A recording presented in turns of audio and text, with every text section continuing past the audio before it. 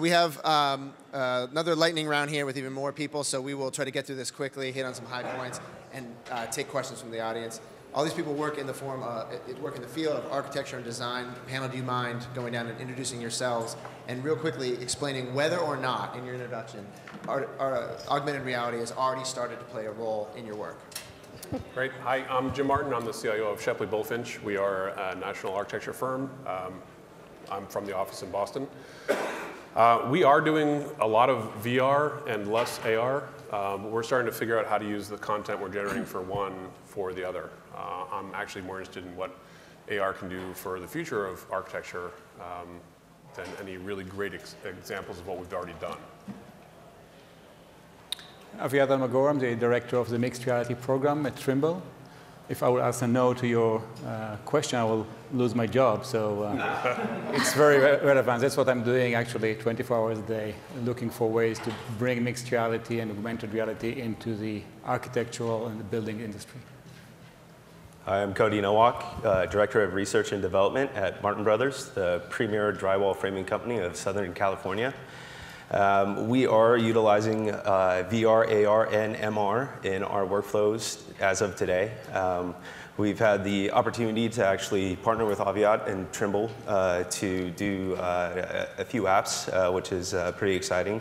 Um, and based on that relationship, uh, we were able to get early hands-on with HoloLens, which allowed us to um, jump and create a platform where we're pushing BIM files through to the HoloLens in mixed reality, and we actually created a proof of concept based on that for building uh, construction layout.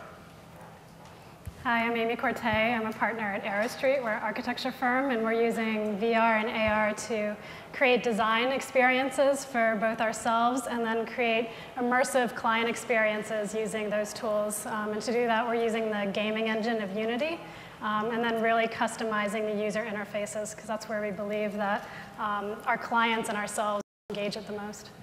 I'm David Boyce, also a principal at Arrow Street. and uh, as Amy said, we are using it in our practice right now, and we're actually really looking for ways to use it in the future. More integration with contractors, uh, with the construction trades, and with ultimately with owners in the long run.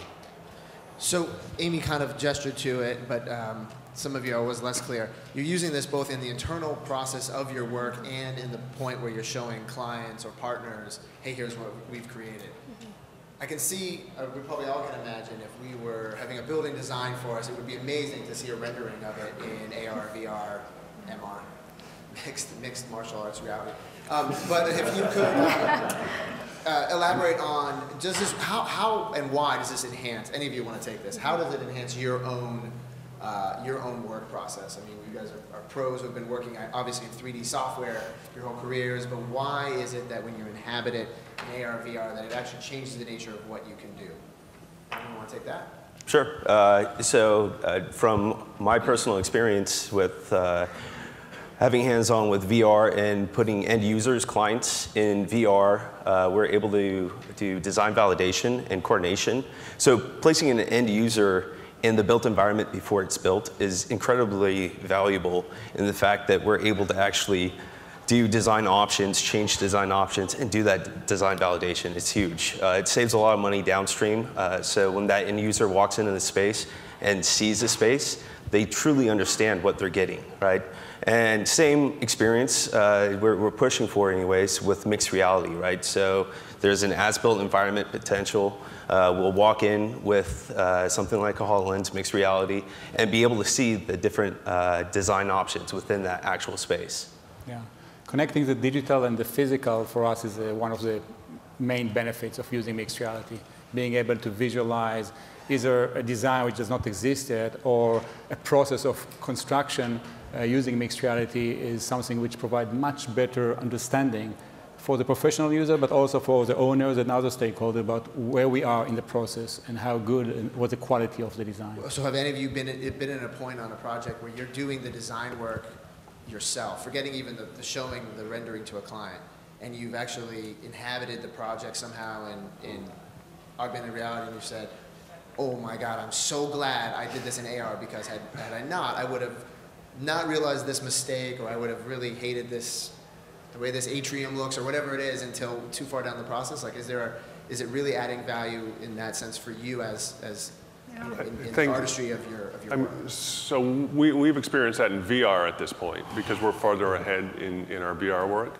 But we did have a situation where we had designed and detailed something that we thought was really well thought out. And when we looked at it in, you know, in the space, in, in what would have, the simulation of what we would have really built, we realized it would have been a huge mistake. And we're able to fix that well in advance of even showing it to the clients. What, what was the mistake that you, that you were only able to realize? It wasn't a mistake. It was just we would have designed it differently.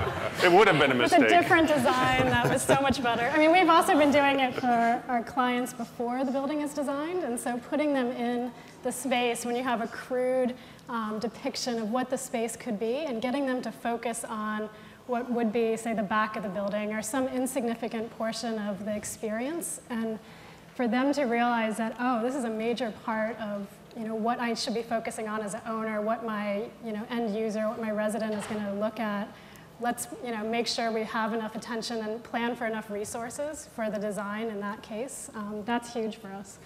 Yeah, we have something very similar. Um, we actually use virtual reality as a design, as a decision engine.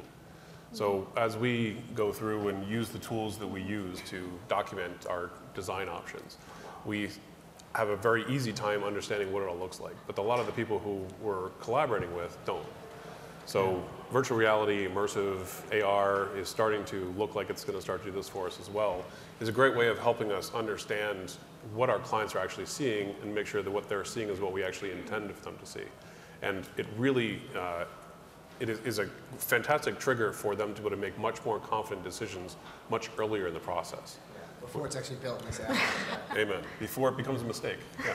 Yeah, maybe one, one more comment on this. Uh, architectural design is a very iterative process. And if you can accelerate this process by making decisions with confidence, by visualizing the impact of any design decision you're doing using this technology, it's a very helpful process. Uh, This is a quick question for Amy, and please, uh, others on the panel uh, can add into their response. The idea of uh, community engagement in the design process and co-creation of design gets discussed.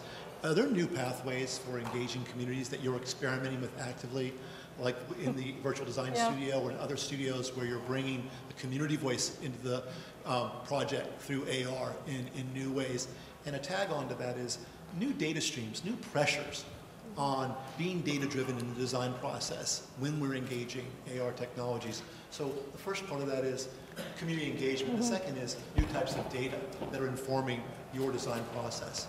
Yeah, I'm, we're starting to bring it into the Boston, um, kind of the city reviews and that review process. And what we've really learned and found is VR, especially, is such a um, individual experience that we've had to change our meeting structure, how we um, kind of facilitate those meetings. And so having one person in the VR headset and or the AR headset and everybody staring at them is obviously not the right way to go. And you have to change your way that you organize the meeting, how you talk about the meeting, what that person is seeing and how that's viewed on the screen so that people are looking at the screen and what that person is seeing rather than the person themselves. And I think from the data side of it, what we're looking forward to and exploring with the Microsoft HoloLens is how we can layer the data that is fairly opaque in our Revit models and actually make it more intuitive when we're looking at that through AR. Yeah, I think one of the things that uh, I'm really looking forward to the day that the HoloLens and customized hardware really isn't necessary, because I think that's going to be incredibly freeing.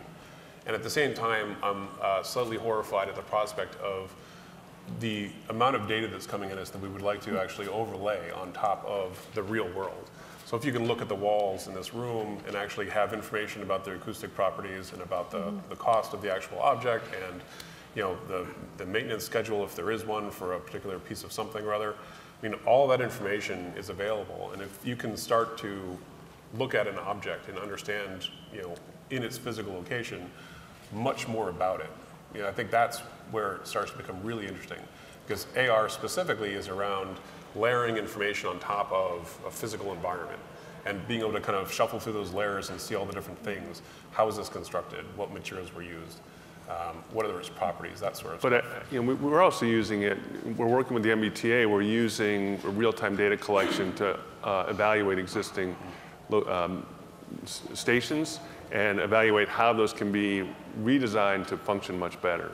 So being able to create computer models, generate that, and, and visualize how their how their station works now, and with subtle changes, how it will work in the future. And even pilot some of these changes perhaps and see in real Yeah. time Right. what results from these changes. Brian, please. Uh, uh, are there any questions from the audience? Now would be time. We're at the end. If you could come up to a mic, sir, because this session's been. We'll give it two minutes. Two minutes. We started a little late. Two minutes. The lightning round format here.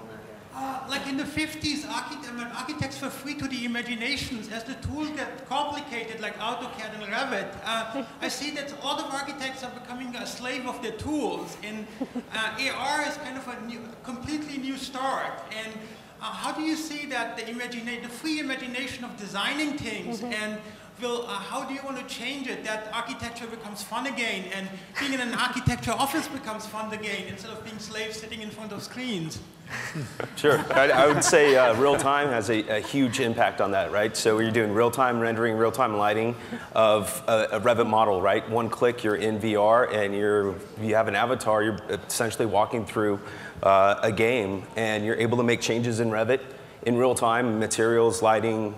Uh, elements and it updates in real time in VR, right? Yeah, but or thing I- even mixed reality. Yeah, but the thing which gets forgotten, Utzon built the Sydney uh, Opera House much before that. and It's so beautiful. And a lot of the stuff built today is, I, I see the imagination getting disappearing. The- so the, the quick iteration is beautiful, but if you can't imagine anything, then you can iterate as fast as you can, you'll still not get anywhere. And what we'll do, in the interest of time, um, because we'll have to wrap on this panel, we will continue this discussion. It's a very, we've got a strong point of view on the mic, and that is about the design process and being slaves to tools, and how do we um, think about uh, this, this dichotomy between the technology and, and the human experience, and how do we give room for both the design process, and, and how is design education transforming to meet these issues?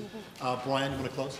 Any thoughts, final thoughts? Well, actually, I would say, do any of you want to take on that last point? Does any uh, anyone want to say that we are indeed I mean, I don't, I don't know what architecture you've been visiting, but maybe not the right ones. But, you know, there's, there is certainly an adoption curve that has to happen with any technology whenever it's uh, adopted.